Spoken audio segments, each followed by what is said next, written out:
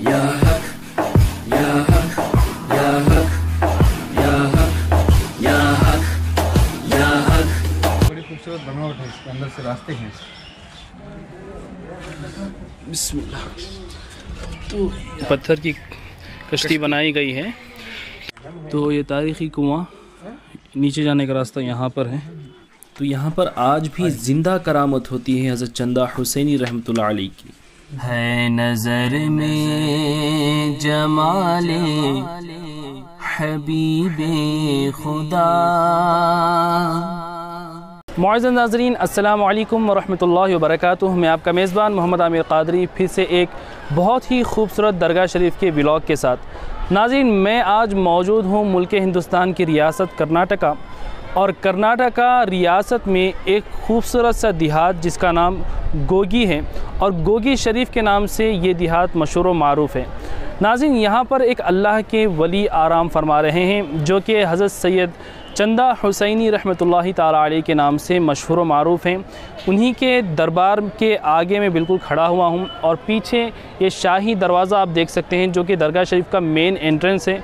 और दरगाह शरीफ का ये जो इहाता है, बहुत बड़ा है और अलग अलग जगहें हैं जो ज़ियारत के काबिल हैं।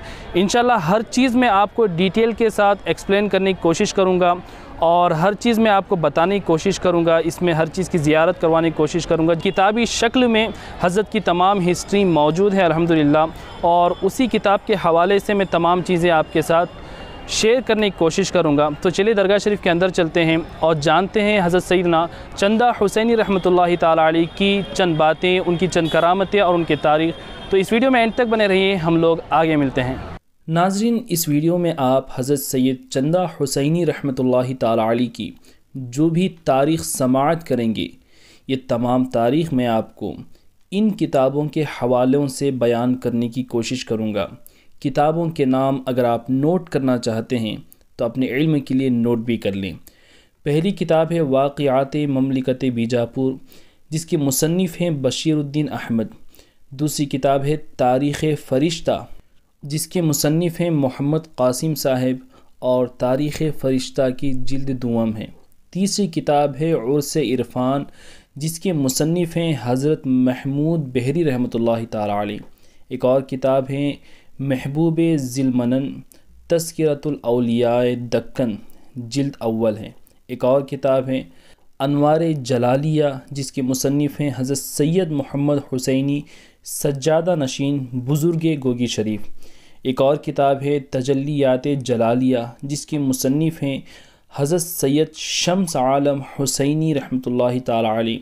सज्जादा नशीन बुज़ुर्ग गोगी शरीफ। ये जो किताबों के नाम मैंने आपको बताए हैं इनमें से कई किताबें चालीस साल सौ साल और चंद किताबें 200, 300 और 400 साल तक पुरानी और तारीख़ी कदीम किताबें हैं। नाजिन हज़रत सैदना चंदा हुसैनी रहमतुल्लाहि ताला का असल नाम हज़रत सैयद जलालुद्दीन हैं और शाह चंदा उर्फियत हैं और कमरुल अर्द ये आपका लक़ब है। आपके वालिद मुहतरम का नाम हज़रत सैयद जहाँ शेर हुसैनी रहमतुल्लाहि ताला हैं जो कि अपने वक्त के एक जलीलक़द्र बुज़ुर्ग गुज़रे हैं। और आपकी वालिदा मुहतरमा का नाम है हज़रत असमत पनाह बीबी फ़िरदौस जहाँ रहमतुल्लाहि ताला हज़रत सैयद शाह जलालुद्दीन हुसैनी अलमारूफ़ चंदा हुसैनी रहमतुल्लाहि ताला की पैदाइश सात सौ चौरानवे हिजरी, यानी सेवन नाइन्टी फ़ोर हिजरी, जो कि इस्लामिक डेट होती है।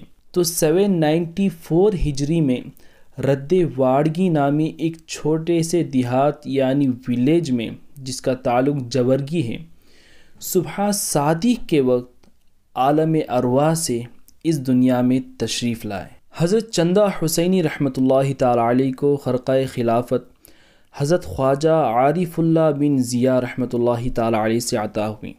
अब आप हज़रत चंदा हुसैनी रहमतुल्लाहि ताली का मुख्तसर सा शजरा मुबारक समात करें। इससे आपको हज़रत सैदना चंदा हुसैनी रहमतुल्लाहि ताली की मुक़द्दस ज़ात का अंदाज़ा लगेगा कि आपकी मुक़द्दस ज़ात किन किन हस्तियों से वाबस्तगी रखती है। तो हज़रत सैदना चंदा हुसैनी रहमतुल्लाहि ताली को हज़रत ख्वाजा आरिफुल्ला बिन ज़िया रहमतुल्लाहि ताला से खिलाफत हासिल हुई और उनको हज़रत ख्वाजा सादुद्दीन जंजानी रहमतुल्लाहि ताला से खिलाफत हासिल हुई और उनको हज़रत गौसुल आलम ख्वाजा मखदूम अशरफ जहांगीर सिमनानी रहमतुल्लाहि ताला से खिलाफत हासिल हुई। सुबहान अल्लाह। यानी सिर्फ़ दो वास्तों से हज़रत सैयद जलालुद्दीन उर्फ़ चंदा हुसैनी रहमतुल्लाहि ताला का सिलसिला गौसुल आलम हज़रत जहांगीर अशरफ सिमनानी रहमतुल्लाहि ताला जिनका मज़ार शरीफ किचोचा शरीफ यूपी में मौजूद है और जो सिलसिला अशरफिया के बानी हैं। तो हज़रत जहांगीर अशरफ सिमनानी रहमतुल्लाहि ताला से आपका सिलसिला सिर्फ़ दो वास्तों से जा मिलता है। सुबहान अल्लाह। और इसी तरह हज़रत चंदा हुसैनी रहमतुल्लाहि ताला को बैत खिलाफत 24 वास्तों से होता हुआ दोनों आलम के मालिक मुख्तार हुजूर जनाब मोहम्मद रसूलुल्लाह सल्लल्लाहु वसल्लम से जाकर मिलता है। हज़रत सैदना चंदा हुसैनी रहमतुल्लाहि ताला ने दीन इस्लाम की तबलीग के लिए कई सारी कोशिशें और मेहनतें फरमाई और कई सालों की मेहनतों के बाद हज़रत सईदना चंदा हुसैनी रहमतुल्लाहि ताला की तबलीग एक करामत की शक्ल में ज़ाहिर हुई। आपको ये बात जानकर के हैरानी भी होगी और ख़ुशी व मसरत भी होगी कि एक अल्लाह के वली की क्या शान है कि हज़रत सईदना चंदा हुसैनी रहमतुल्लाहि ताला की मेहनतों और काविशों से तकरीबन तीन लाख गैर मुस्लिमों ने इस्लाम की दावत को कबूल किया और तीन लाख गैर मुस्लिम मुसलमान हुए सुबहान अल्लाह तो मेरे प्यारे इस्लामी भाइयों और बहनों, आप अंदाज़ा लगा सकते हैं कि जब अल्लाह का एक सच्चा वली, उसका प्यारा दोस्त उसके दीन की तबलीग करता है तो उसका रंग किस हद तक निखर कर सामने आता है सुबहान अल्लाह हज़रत सैना चंदा हुसैनी रहमतुल्लाहि ताला ने अपनी ज़िंदगी में तकरीबन तीन लाख से ज़्यादा लोगों को कलमा पढ़ा करके मुसलमान किया और फिर ये तीन लाख लोग हज़रत के मुरीद बने और आपके सिलसिले में शामिल भी हुए। तो नाजिन हम इस जो शाही दरवाज़ा है बुलंद दरवाज़ा इसके ऊपर चढ़ रहे हैं क्योंकि हमें ड्रोन फोटेज लेना है यहाँ का तो चलिए हम ऊपर चलते हैं। बड़ी खूबसूरत बनावट है इसके अंदर से रास्ते हैं। यहाँ के दरवाजे पूरे अदब के मामले भी साफ़ है। बिल्कुल। सर झुकाकर ही जाना पड़ेगा इंशाल्लाह।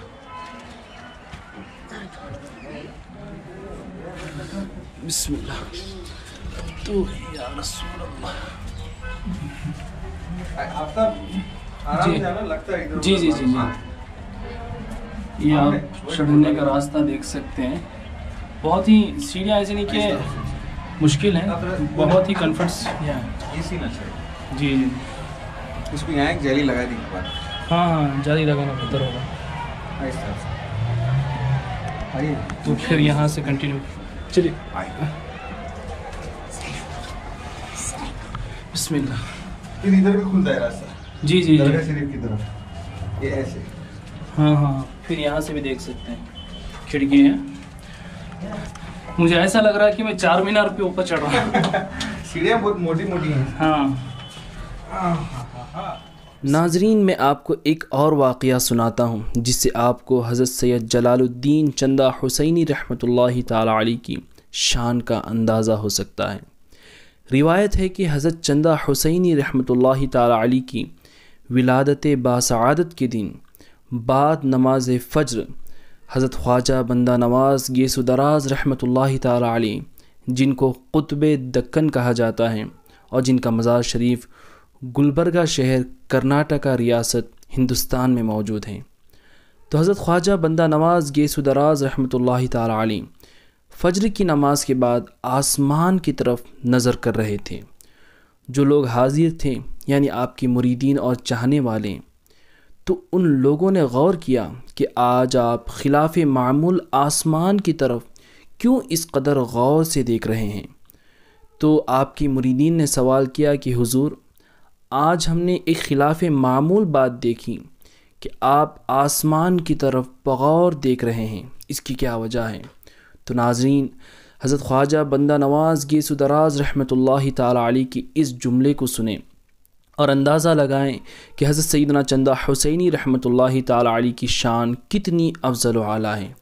हज़रत ख्वाजा बंदा नवाज़ गेसुदराज ताला अलैहि फरमाते हैं कि आज हज़रत अमीरुलमुमिनीन इमाम हुसैन रदी अल्लाह तु की औलाद से एक लड़का चंदा हुसैनी पैदा हुआ है, जिसकी खुशी आसमान पर मनाई जा रही है। सुबहान अल्लाह तो नाजरीन, जिनकी आमद की खुशी आसमानों पर फरिश्ते मनाते हैं तो आप सोचिए कि उनकी शान कितनी बुलंदोबाला होगी।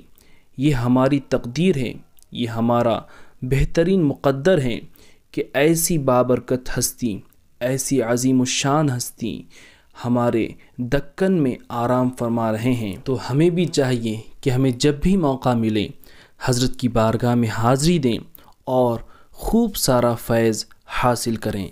हज़रत सैयद जलालुद्दीन चंदा हुसैनी रहमतुल्लाहि ताला की मुलाकात हज़रत ख्वाजा बंदा नवाज़ गेसु दराज रहमतुल्लाहि ताला से भी हुई है। इसका एक ख़ूबसूरत सा वाक़ यूँ है कि जब हज़रत सैदना चंदा हुसैनी रहमतुल्लाहि ताला की उम्र शरीफ 11 साल की थी, जब हज़रत ख्वाजा बंदा नवाज़ गीस दराज रहमतुल्लाहि ताला की उम्र तकरीबन सौ साल की थी तो हज़रत चंदा हुसैनी रहमत ताला बंदा नवाज़ से मुलाकात के लिए तशरीफ़ ले गए। तो जब बंदा नवाज़ के बारगाह में हज़रत चंदा हुसैनी रहमत ताला हाजिर हुए तो जब हज़रत बंदा नवाज़ ने हज़रत चंदा हुसैनी को देखा तो शफ़क़ता आप खड़े हुए और थोड़ा आगे बढ़े और आगे बढ़ कर के हज़रत चंदा हुसैनी का इस्तकबाल किया।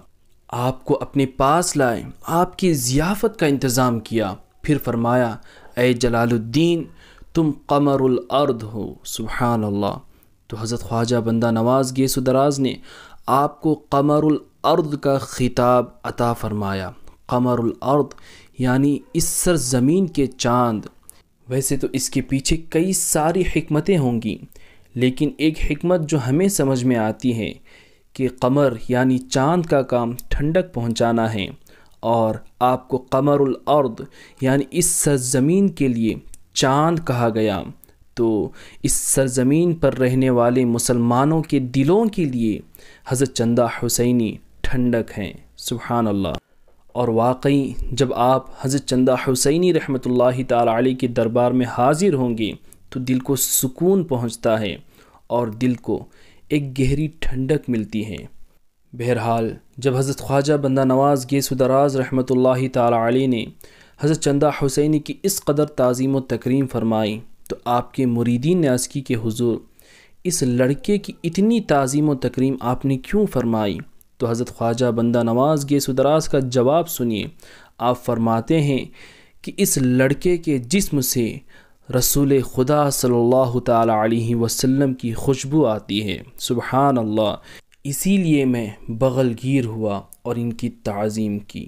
किसी शायर ने क्या ही खूब फरमाया है कि महफ़िल बंदा नवाजी में महक जो उठ गई, महफ़िल बंदा नवाजी में महक जो उठ गई खुशबुए खून मोहम्मद को हमारा यूँ सलाम। सुबहान अल्लाह मोहम्मद, सल्लल्लाहु अलैहि वसल्लम। यूसुफ़ आदिल शाह हज़रत चंदा हुसैनी रहमतुल्लाहि ताला से बड़ी मोहब्बत व अक़ीदत रखता था, जो कि बानी सल्तनत आदिल शाह है। पहले बहमिनी सल्तनत में सूबेदार था। यूसुफ़ आदिल शाह की वसीयत थी कि जब मेरा इंतकाल हो मुझे हज़रत चंदा हुसैनी रहमतुल्लाहि ताला के दरगाह में दफन कर दें। इसके बाद इनका बेटा इस्माइल आदिल शाह भी वहीं मदफन है और इब्राहिम आदिल शाह भी गोगी में ही मदफन है और ख़ानदान आदिल शाह के दीगर अफराद भी गोगी में ही मदफन हैं और एक चौखंडी इनके लिए बनाई गई है, जो कि मैं आपको आगे ज़ियारत करवाऊँगा। हज़रत सैयद शाह जलालुद्दीन चंदा हुसैनी रहमतुल्लाहि ताली का विसाल बाकमाल शाबान की 10 तारीख को आठ सौ अट्ठावन हिजरी यानी 858 हिजरी में हुआ और आपकी मुकम्मल उम्र शरीफ जो है 63 इयर्स की हुई। हज़रत सैदना चंदा हुसैनी रहमतुल्लाहि ताला का उर्स शरीफ भी हर साल शाबान के महीने की 10, 11 और 12 तारीख को मनाई जाती है। 10 तारीख को सुंदल होता है 11 तारीख को जश्न चरागा होता है और 12 तारीख को उर्स और ज़ियारत वगैरह का इंतज़ाम होता है। नाजरीन, आपके जहन में ये सवाल आ रहे होंगे, इनमें से कौन सी मज़ार किन बुज़ुर्ग की है? तो मैं आपके इल्म के लिए बता दूँ कि दाहिनी जानिब से जो सबसे पहली बड़ी मज़ार है, ये मज़ार शरीफ हज़रत सैयद जलालुद्दीन चंदा हुसैनी ताला अलैह की है और इनके बगल में थोड़ी छोटी मज़ार जो है, ये आपकी अहलिया मोहतरमा, यानी आपके वाइफ जिनका नाम हज़रत सैदा मखदूम जहाँ रहमत अलैहा हैं। और हज़रत सैदा मखदूम जहाँ रहमत ला हज़रत सूफ़ी सरमस्त ताला अलैह, जिनका मज़ार शरीफ सगर शरीफ में मौजूद है, उनकी नवासी हैं सुहान अल्लाह और इनके बगल में हज़रत चंदा हुसैनी रहमतुल्लाहि ताला के सबसे बड़े फ़र्जंद और आपके खलीफा हज़रत नूर आलम हुसैनी रहमतुल्लाहि ताला आराम फरमा रहे हैं। नाजीन हज़रत की मज़ार शरीफ यहाँ पर मौजूद है तो वहाँ से हम आएँगे तो यहाँ पर ये एक खूबसूरत सा पेड़ है नीम का दरख्त है। इसके बारे में सैयद साहब हमें बताएँगे इन अस्सलाम वालेकुम रहमतुल्लाहि व बरकातुहू हज़रत चंदा हुसैनी की रिवायत बहुत सी तवारीख की किताबों में आ चुके हैं। और ऐसा मशहूर है आपके बारे में आपके वालदा आपको झूले में डालें और आपका झूला हवाओं में गश्त करते हुए दो और दीगर मकाम पर रुक के आखिर में गोगी शरीफ आके इस पेड़ पे रुका। ये आपके बारे में रिवायत तवारीख की किताबों में भी है और मशहूर व मारूफ भी। जी जी। तो ये आप देख सकते हैं।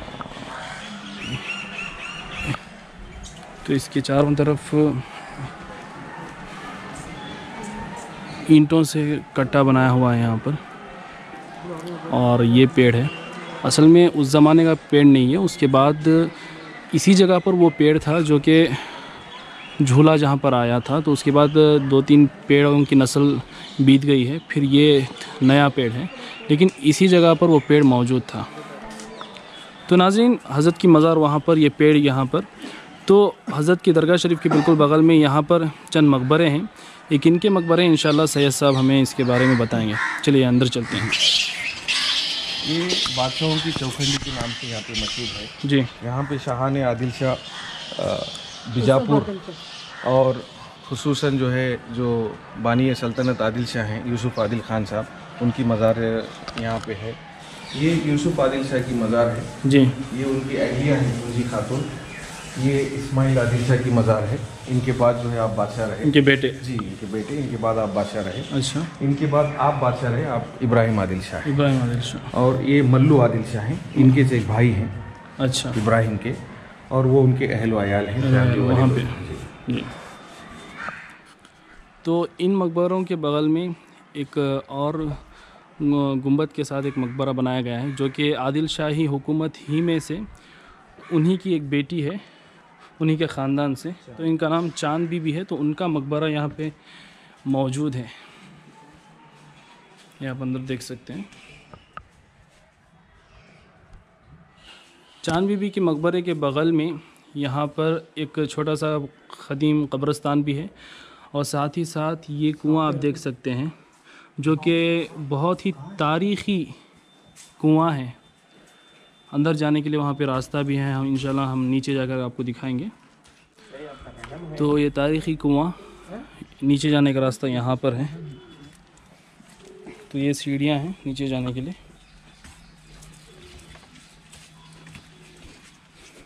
यहाँ से दिए चढ़ता था अंदर से खाली ले लें। हाँ चलिए। अंदर ही दे लें। आई।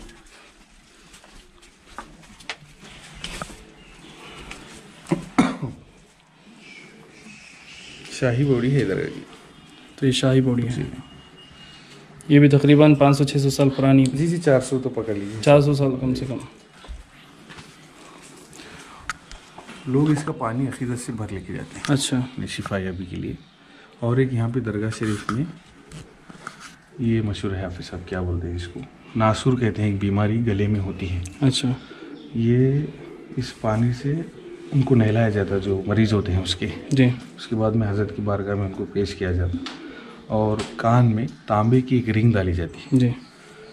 वो उसके बाद में नाहर पेट यहाँ से जाना वो लोग। गोगी के सरहद के बाहर उसके बाद ही उन्हें कुछ खाना पीना। हाँ। ये ऐसी रिवायत यहाँ पे चलती आ रही है। और वो हज़रत चंदा हुसैनी के नाम पे उनको शिफा हो जाएगी वो गारंटीड इलाज है। जी माशाल्लाह। इस खानखा का आस्थाने का वो एक गारंटीड इलाज यहाँ पे शिफा होती है नासुर जो कन्नड़ में उसको कंटमाल या गंडमाल कहा जाता है। घाट आ जाती है गले जी, में जी, उसका। जी, उसका इलाज होता है। इस पानी से उनको नहलाया अच्छा ये पानी नलों में भी आता है बाहर? वज़ू खाने के लिए भी दिया गया है। यही पानी? जी जी वज़ू खाने के लिए अच्छा। तो उस कुएँ से थोड़ा और हम आगे आएँगे। तो ये कब्रस्तान है पुराना जैसे मैंने बताया। तो यहाँ पर ये इमारत आप देख सकते हैं। यहाँ पर कहा जाता है कि उस ज़माने में हाथियों को बांधा जाता था। हाथियों के बांधने की जगह थी ये। तो उन्हीं के लिए अलग से बनाया है। देखिए आप, पूरा पत्थरों के साथ। कई सौ सालों के बाद भी आज भी माशाल्लाह सलामत है। इस जगह से आएँगे तो जैसे मैंने कहा, ये तीसरा दरवाज़ा है यहाँ का। तो यहाँ से हम बाहर निकलेंगे। तो एक तालाब यहाँ पर हमें नज़र आता है। दरगाह शरीफ का ये मगरबी दरवाज़ा है, बिल्कुल क़दीम दरवाज़ा। तो यहाँ पर एक कदबा आपको नज़र आ रहा होगा, ऊपर। ये फ़ारसी में लिखा हुआ है। उस पुराने ज़माने की तकरीबन चार पाँच सौ या छः सौ साल पुरानी ये फ़ारसी है जो कि आज भी समझना बहुत ही मुश्किल है लेकिन दरगाह शरीफ के मगरबी दरवाज़े पर यह जो कतबा है इसमें यही लिखा हुआ है कि दरगाह हज़रत चंदा हुसैनी रहमतुल्लाहि ताला की तामीर ज़माना इस्माइल आदिल शाह से शुरू होकर बाहद इब्राहिम आदिल शाह सानी पर ख़त्म हुई। लगभग 200 साल का टेन्यूअर जो जिसको 200 साल में पूरी दरगाह शरीफ की बनावट मुकम्मल तो 200 साल लगे का इसकी मुकम्मल तामीर ये जितना भी कंपाउंड नज़र आ रहा जो आप पीछे तालाब देख रहे हैं दिखाइए। जी। ये जो आप तालाब देख रहे हैं ये तालाब पहले मौजूद नहीं था अच्छा। चंदा हुसैनी यहाँ पे मुखीम थे जी तो जब दरगाह शरीफ की बनावट शुरू हुई तो जी। इस तालाब को बनाया गया बाजाबता तौर पे ताकि दरगाह शरीफ की बनावट में इसको इस्तेमाल पानी इस्तेमाल किया जाए ये तालाब भी जबी से है वो इमारत देख सकते हैं। तालाब के उस पर मैं जूम करने की कोशिश करूँगा। इमारत दिख रही है। हाँ। शाह ने आदिल शाह उर्स शरीफ मनाने के लिए आते थे और हज़रत से मुलाकात करने के लिए हज़रत के जानशीनों से सज्जद नशीनों से मुलाकात करने के लिए आते थे। तो आप वहाँ आधा घंटा घंटा मुकाम करके हज़रत से इजाज़त लेके जो उस दौर के खुलफा या हज़रत चंदा हुसैनी के खलीफा सज्जद नशीन जो भी थे उनसे इजाज़त लेके उसके बाद में वो दरगाह शरीफ में अपनी जो भी लिबास है उसको बदल के दरगाह शरीफ में। शाहाना लिबास उतार के, उतार आम लिबास पहन के। लिबास में दरगाह शरीफ में दाखिल होते सुबह अल्लाह तो ये दरगाह शरीफ का कंपाउंड है। तो दरगाह शरीफ के ये जो नीम का पेड़ है इसके करीब में ये पत्थर की कश्ती बनाई गई है। तो जो भी लोग मन्नतें मुरादें करते हैं और जो भी मन्नत करते हैं कि कुछ पका कर के यहाँ पे लोगों को खिलाएँगे तो जब उनकी मन्नत पूरी हो जाती है तो इसको भरते हैं। जो भी वो मन्नत किए होते हैं तो फिर इसको भरने के बाद लोगों को यहाँ से खिलाया जाता है। फिर यहाँ पर एक कौन सा? नौबत खाना। नौबत खाना। यहाँ पर है। जी। जी।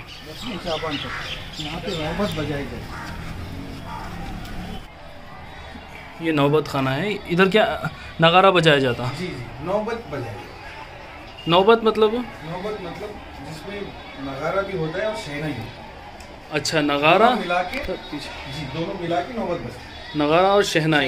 ये दोनों को मिला के नौबत खाना अच्छा अच्छा। तो वो उसी ज़माने का आर्किटेक्चर है ये? बाकायदा बनाया गया है यहाँ पे। और यहाँ ऊपर जाने का रास्ता भी है। और साथ ही साथ आवाज़ जाने के लिए ये तीन खाने हैं जो कि हर तरफ़ ये फैल जाता है। ये वही है नाज़रीन जो मेन शाही दरवाज़ा है जहाँ से हम वीडियो शूट किए थे वहाँ पर इंट्रो हुआ था। तो यहाँ से एंटर होते हैं। ये था वीडियो हज़रत सैदना चंदा हुसैनी ताला अलैहि का वीडियो।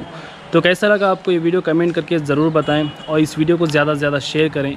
जब भी आपको मौका मिले रईचूर या शाहपुर या आसपास कहीं भी करीब आने का या गुलबर्गा शरीफ से भी करीब है तो गुलबर्गा शरीफ आने का जब भी आपको मौका मिले तो इस दरगाह शरीफ पर हाज़िर देने की पूरी कोशिश करें। जैसे कि आपने वीडियो में सुना कि कितना तारीख़ी मुकाम है और कितने बड़े बुज़ुर्ग यहाँ पर आराम फरमा रहे हैं और बहुत ही प्यारी ये दरगाह शरीफ है और ये दरगाह शरीफ देखने से ताल्लुक़ रखती है इसकी खूबसूरती।